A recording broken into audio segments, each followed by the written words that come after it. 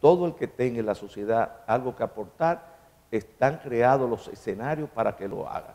Si ellos se niegan a conversar, a ser parte de la solución de los problemas que tiene este país, yo creo que todos los dominicanos estamos de acuerdo en que esa no es la posición correcta. Así reaccionó el ministro de la Presidencia al participar como invitado en el tradicional almuerzo del Grupo Corripio, a la vez que explicó los logros alcanzados por el gobierno, pese a los factores adversos con el que ha tenido que lidiar la actual gestión. Realmente nosotros nos mantenemos tratando de ver cómo logramos que la clase menos poseída de este país salga lo mejor posible de esta crisis.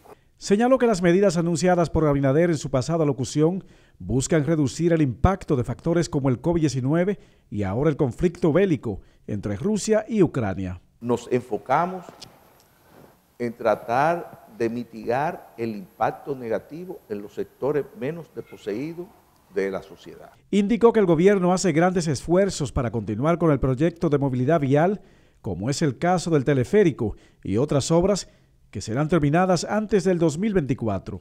El teleférico de Santiago para diciembre del 23, el monorriel de Santiago para principio del año 2024 y los corredores que se están haciendo tanto en la ciudad de Santo Domingo como en Santiago.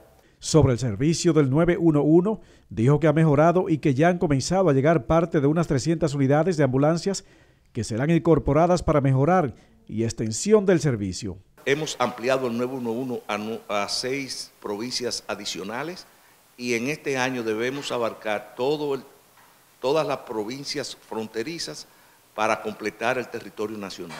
También habló del programa de viviendas feliz, del que dijo hay alrededor de 10.000 unidades habitacionales en construcción. En el almuerzo estuvieron presentes sus principales ejecutivos, así como representantes de los medios que integran al Grupo Corripio. Dizo Rodríguez, Informativos Teleantillas.